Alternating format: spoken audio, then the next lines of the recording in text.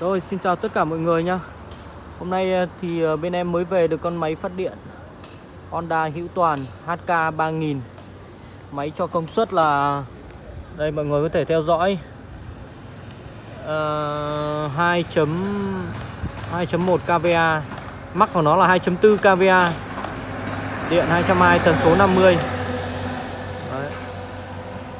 Máy Hữu Toàn. Máy này thì nó chạy ờ, củ ý nha mọi người.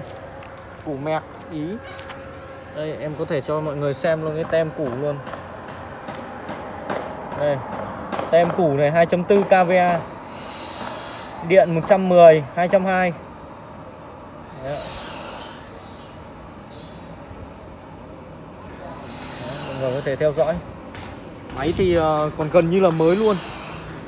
Đẹp xuất sắc mới về thì ờ, em cũng chưa chưa cho nổ cái vệ sinh đâu.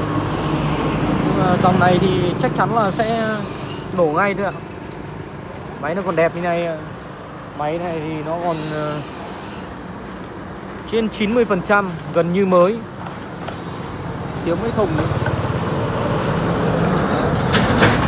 dòng này cực dễ nổ luôn. Có khi khéo nổ luôn đấy ạ. Em có thể bật thử mở xăng thử xem nó có nổ không? Vâng. luôn Đấy, có điện luôn này mọi người. Cái này thôi còn em sẽ chỉnh lên tí chỉnh ga lên tí là nó sẽ lên. Đồng hồ này em sẽ chỉnh ga lên tí là nó sẽ lên.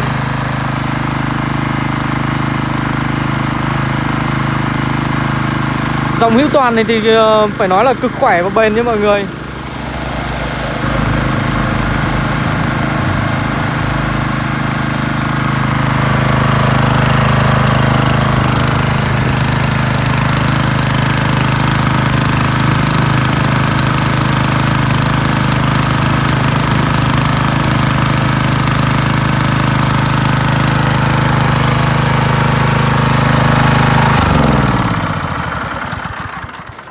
Cái này tí nữa bọn em chỉnh lại cái đồng hồ này cái là nó nó, nó sẽ đủ lên đủ 220 luôn. Đấy. Dòng này cực dễ nổ luôn. Kính xăng nhé trắng tinh luôn. cái này nó còn đẹp quá. Mới về bên em này. Kính xăng trắng tinh ạ. Đây là năm bình xăng. Đấy thì em quay luôn cho mọi người. Ra mùa dịch này mua bán khó khăn quá.